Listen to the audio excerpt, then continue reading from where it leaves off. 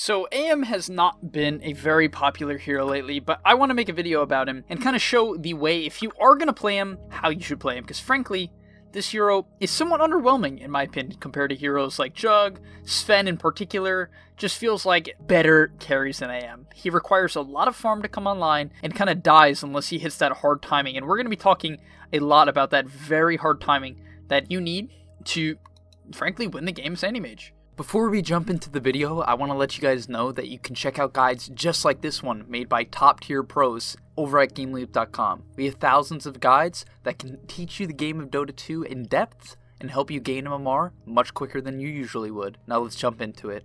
So I know I feel like I say this every single game, but creep aggro is just everything, guys. Like, pay attention to this clip and see why he gets these CS. So the creeps get aggro to this range creep, and the only reason he gets them under his tower is because he clicks on the Lina and drags them over, right?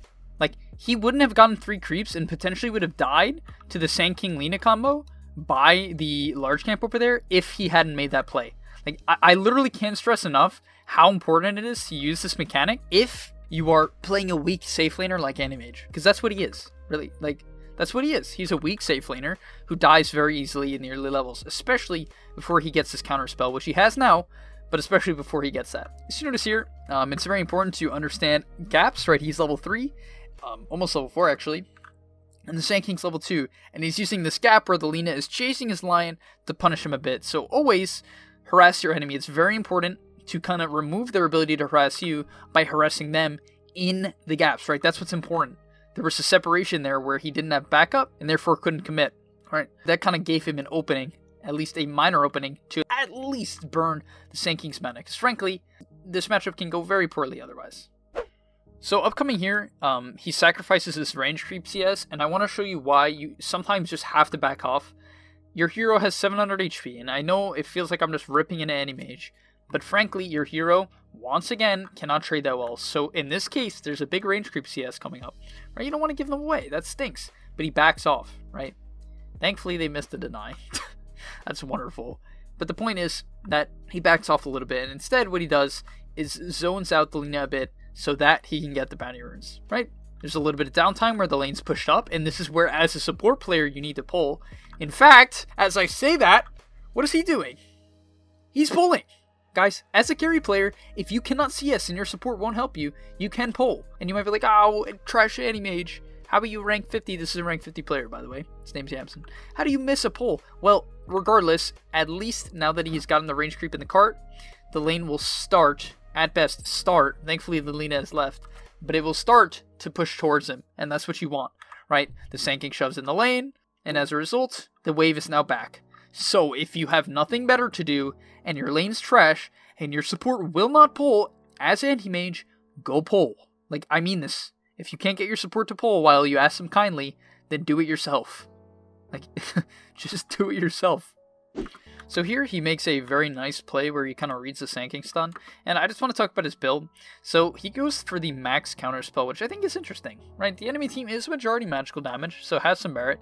In fact, like for the early game, they're basically all magical damage. But one thing it does is it allows him to, to lane, right? Because frankly, as I keep saying, your hero kind of stinks in lane.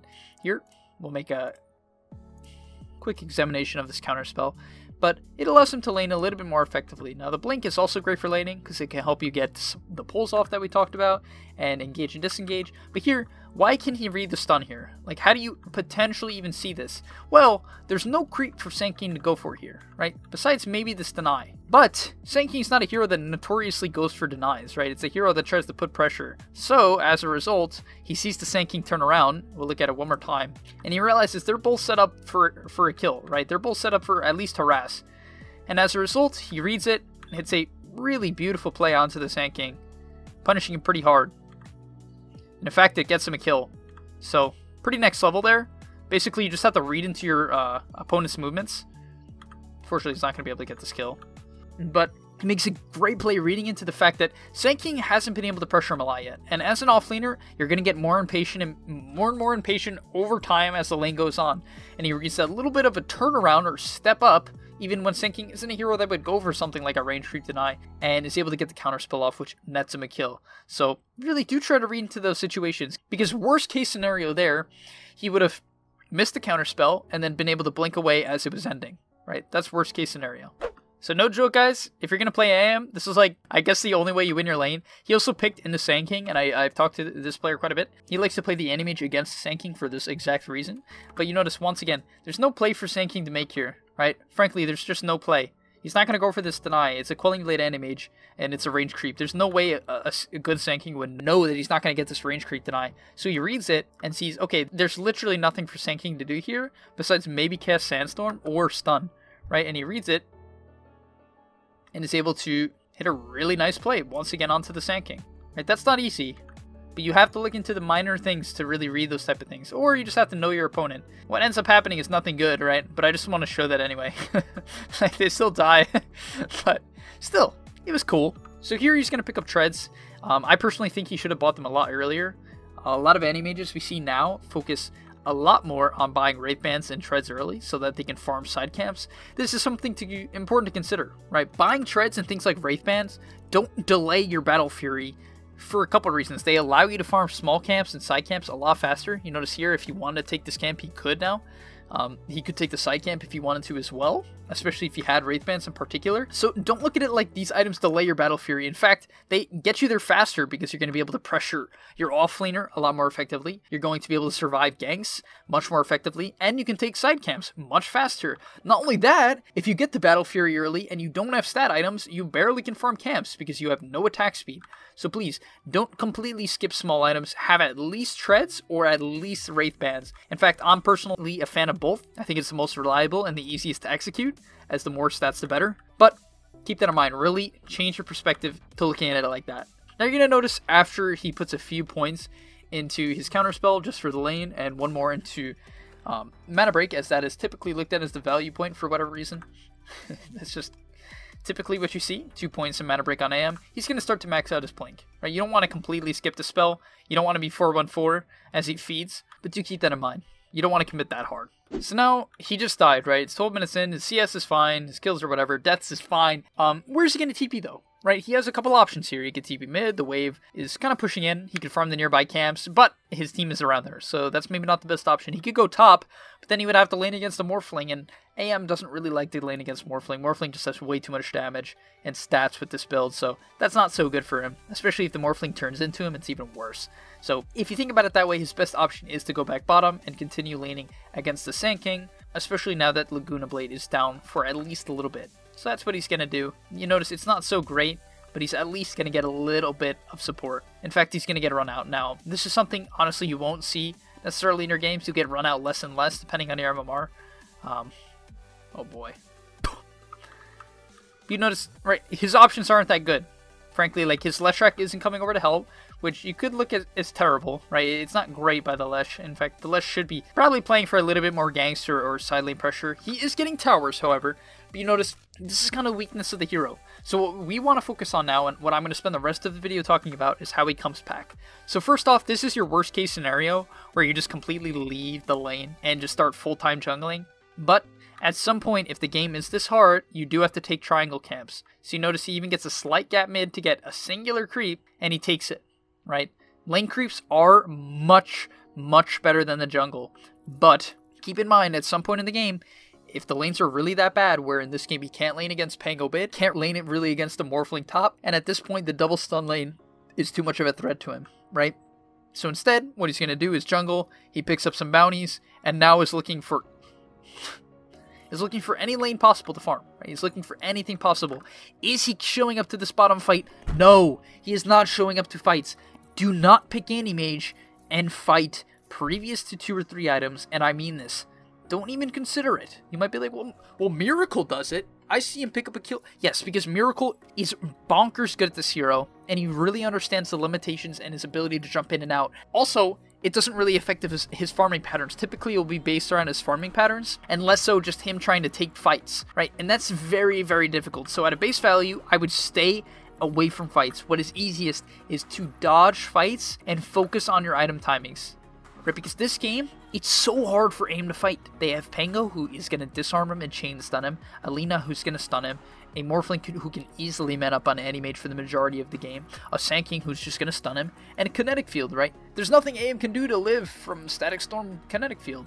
So it's a hard game for AM. It's as simple as that. So do not show up the fights, even in games where it might look like a good AM game, where they have like a bunch of magical heroes, because that's typically the quote-unquote good AM game, even though they can kill you early. But instead, he's going to go to the enemy safe lane and take the open farm. I promise you guys, look at your own Ancient games, Ancient Below, Divine and Below, even Immortal and Below. Not kidding. Like, this is this is really the upper echelon if we look at the thing. Like, a lot. This is a super high ranked game, right? And typically, what will happen um, is that the majority of fights will go down in the enemy safe lane, or your safe lane, I'm sorry.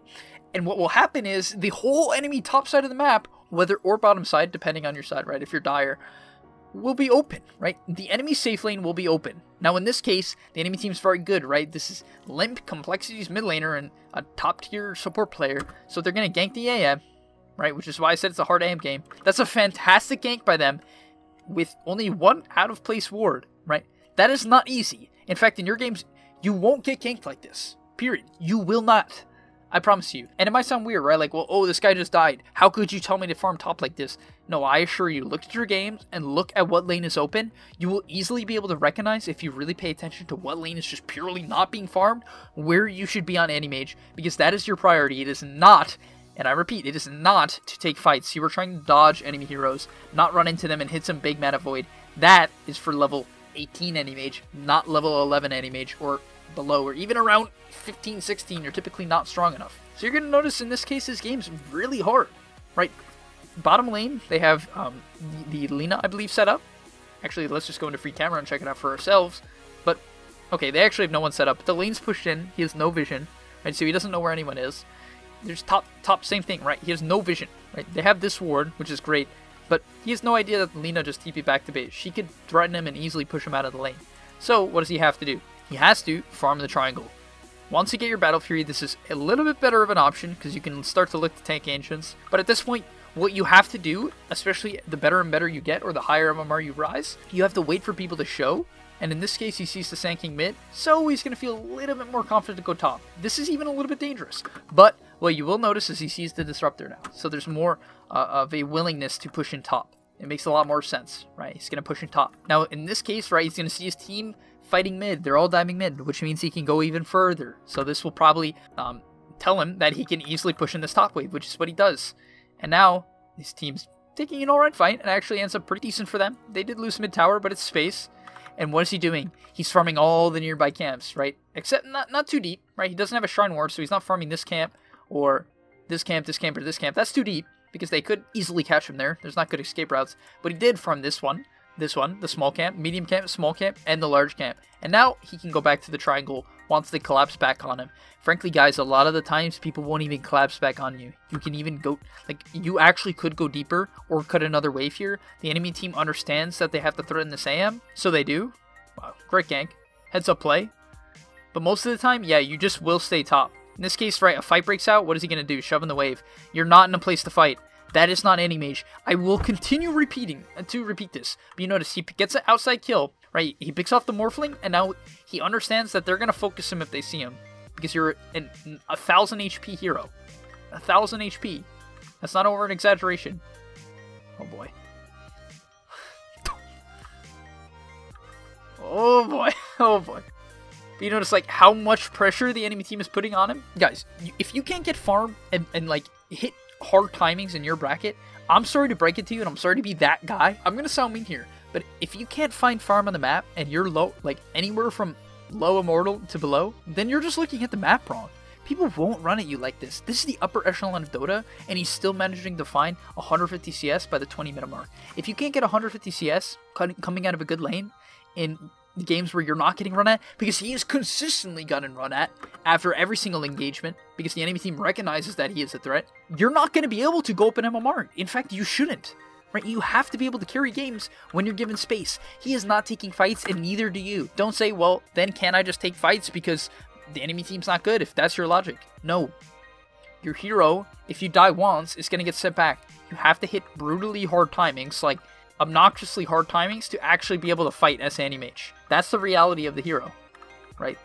in this situation, you notice, like, what is he supposed to do here? His team's going on, and in fact, he's even, like, he wants to help because he understands how hard this game is for his team, but you can't. And yes, this is the weakness of AM. This is why I would typically recommend staying away from the Zero, because you cannot take engagements early on, especially against any team that's ahead. So what does he do? He shoves in top, the enemy team shows mid, which prompts him to go shove in the wave, right? He's constantly paying attention to the enemy heroes, as you can tell by his camera movement. And you notice now they back, they're off the map, and what does he do? He backs off. But he's not going to back off too far. He'll probably live to take this nearby camp. It's not here, so he's going to have to go back to his triangle, right? He has no more options, because the enemy team is going to back now. But you notice, he shoves in the wave, he forces enemies to come back, and then he farms the triangle. It's not the opposite order. If the enemy team is making any sort of aggressive play, then he's going to farm the enemy side of the map. Frankly, what you'll see a lot of the time is a entire enemy team bottom, which means as a hard carry, you should be top, and vice versa. If they're top, you should be bottom. That is how Anti-Mage works, right? Like, period. You cannot, don't like try to push the limits of Anti-Mage and go farm where five enemy heroes are, make your game easy, and dodge. You notice he sees the Morphling bottom, which prompts him now to go top. Right? He's he, has he farmed bottom this game, guys? No. The answer is no. He is not. He is not. He pushed in mid a couple times, but he has not gone bottom because this is typically the natural state of Dota at every bracket. Yes, SEA Dota, that includes you, alright? You can't just exclude yourself. I feel like half the YouTube comments I read are like, in SEA Dota, this would not apply. Yes, it would apply, alright? It's kind of a joke, but hopefully you guys get the point. Now he hits his Manta timing, but what happens? He sees the Morphling bottom, and this is a gap from the fight.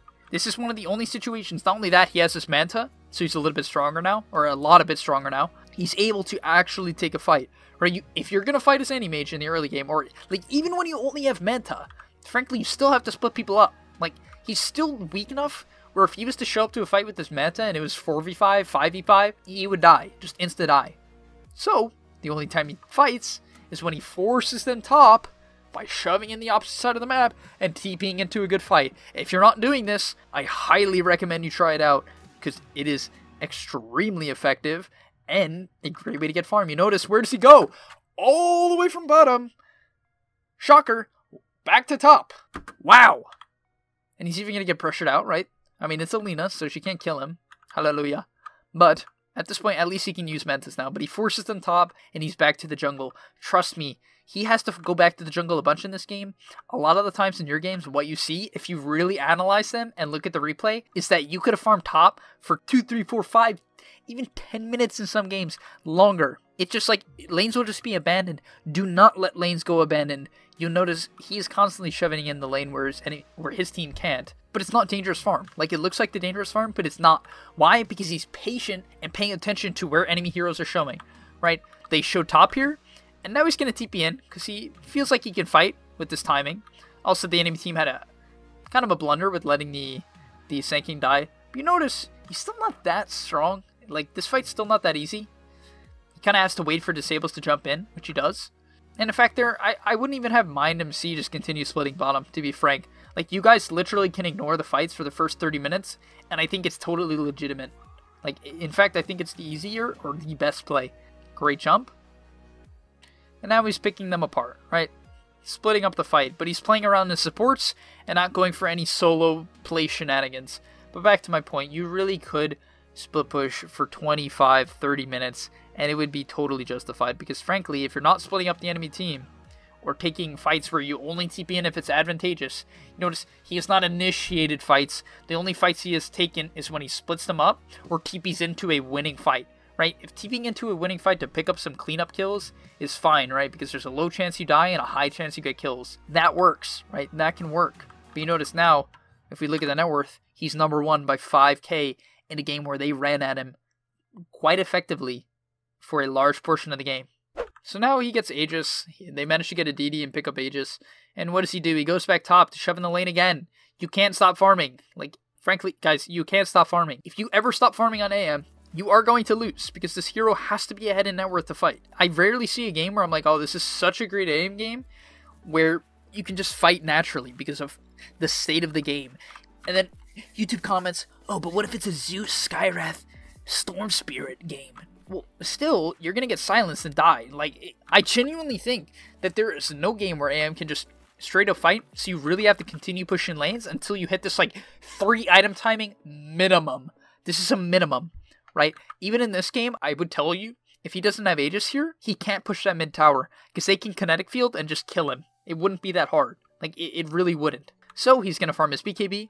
And by the way, for items, um, we'll talk about it, but as a standard, you go the Treads, Battle Fury, and Manta. This is like the basically the only way to play AM. You, you can't delay your timings and play AM as a fighting core. It just doesn't work. Um, I read something, uh, a comment about that. Someone was like, oh, you could go Yasha and Vanguard and fight. But no, if you go Yasha and Vanguard, you still easily die. Like you're you're barely tankier and you do no damage. You have no stun. You have no control. Even if you buy an Orb of Venom, it still would be hard for you to track down people and actually secure any kills. No, you you have to play AM as a hero where you're gonna get three items and try to take over the game. You notice he is 6k above the enemy team, and I believe this game doesn't end anytime soon, which is why it's crucial for him to continue farming. You notice here, he's gonna look to walk in and just kind of hit people. But right, like if if he doesn't have Aegis, he is 6k, 7k ahead and still dies. Insta dies. Right? Like, your hero really has to be extremely diligent to make it work. So thankfully he gets his BKB, which allows him to sort of fight. But once again, he sort he pretty just much gets driven out. I mean, at, thankfully at this point, he tanked a lot of spells, so his Leshrac was able to clean up. That's basically how he did damage that fight, wasn't him directly. But they even lose the fight, and now that the fight has gone south, he TPs and is continuing farming. You have to stay ahead. He is four slotted and still insta dies, right? In your games, if you feel like you're above your bracket and no one's farming, because frankly, people are just awful at farming, like really bad, then you maybe are just going to be able to hit the point where you get your Skadi and, farm and, and fight to win. As you go up and up in MMR, you should develop this habit where you don't stop farming. He is four slotted and he's not looking for some pick off, right? He is looking to build the proper items and hit a timing where maybe he can at least get a pick off. At least. Because this is just how AM is. I just want to cover talents briefly. So he went the 20 attack speed, which is better for farming. You can take the 10 strength, but once again, your objective for the first 25-30 minutes is to farm, so you shouldn't do that. Then he goes for the 400 blink cast range. This allows you to split push a lot more effectively. Um, you might be like, oh, but the Edge is great for farming, which it is. But the 400 blink cast range does a couple things. It allows you to split push a lot more effectively, bounce from jungle camps to lane. Also, what it allows you to do is initiate from out of vision in a lot of fights, right? You can stay out of ward vision and get a proper jump, get a good Abyssal Blade off later into the game, and just find the proper targets. And then at level 20, he goes for the Blink cooldown. This is just a better choice, period. The Uncontrollable Illusion is just not that practical, where having a 3.5 second blink is fantastic. And then in this game, because they have a lot of magical damage, he goes for the counter spell, right? It just makes sense. Let's look at this upcoming fight and check out what he does. So here, he doesn't want to get chain stun, so he's going to instantly blink in a BKB, identifying that the Sand King is a pretty big kill, right? I think he could have also looked for the Lina here. This would have been a good option if he just went around from this side and looked for Lina Disruptor. Would have been a good target. But Sand King's solid as well, because he has his BKB, he can opt to do this. If he doesn't have BKB in this game, he has to go for one of these backliners, 100%. But in this case, he's able to kill the Sand King, who would kite him out otherwise. And with a solid bash, he's able to pick up a Lina kill. And at this point, he can continue going forward, right? He's strong enough where he can sort a man up. Um, but you notice the fight goes kind of meh, right? A bunch of his teammates still dies. And what does he do? Shocker, guys, he continues farming, right? He's not pushing objective, he's farming. Alright, we're going to look at one more fight to wrap up this video. So here you're going to notice what I suggested last game is what he does here. So when you get very farmed as AM, it's often extremely easy to burst supports. In this case, um, he has the DD, but if the fight breaks out, like this is just a thing at Dota. If you're a backline jumper, if a fight ever breaks out like in front, you always just look for a little bit back. Like typically that's exactly where supports are. If the Pango's here, the the Disruptor's here. If you go to the opposite side of the map, if if the enemy team is coming from this area and a Pango is here on this hill, the the supports are going to be here or here. So you kind of just like look for whatever distance back that is and base it on that. So in this case, he actually gets glimpsed, like a fantastic glimpse by the Disruptor. Go back to player perspective. But now he makes a kind of a blunder. Doesn't kill off the Sand King with that. But he's looking to pick off the fight, so here he identifies that the Pango is a free pickoff. But overall, his objective there was to look for the Disruptor. I don't think that was like a perfectly played fight by him. Kind of messed up on the Sand King kill. But overall, looking for the easy kills on the backline is the easiest way to play as Anti-Mage, especially in these like mid to late game fights. So I'm going to wrap up the video here, guys. Hopefully now you have a better direction in playing Anti-Mage uh, in your upcoming games, but keep this in mind. Like, no matter what you do, if you're not looking for the next creep camp, after a fight, after a TP, after anything, frankly. If you're not looking for the next creep camp or the creep wave, primarily creep waves, you're not playing the hero to his capabilities. In fact, you're just going to lose because your hero doesn't fight that well. Like, in, in comparison, the thing that your hero does well is split up the map and farm. Like, force bad engagements by splitting the map. You notice here they take ages, and what does he do? He goes and pushes in more waves. Look, look at even his lines. Look at the lines, guys. Mid in, top in. Because he wants to force in the map and create a pick-off situation. That's how you gotta play AM. You have to build the net worth lead like this, or else you won't be able to man up to the likes of a hero like Morphling, of Sven, of Jug. It's just how the hero works. Hopefully you take this into consideration in your next game. Thanks for watching, and hopefully I'll see you in the next video. Hey guys, before I leave you, I just want to remind you that over at GameLeap.com, you can check out guides just like this one, made by top tier pros. It will help you gain MMR faster, it will help you learn the game much more in depth, and overall just increase the experience of your Dota gameplay as you will crush your opponents simply by knowing more than them.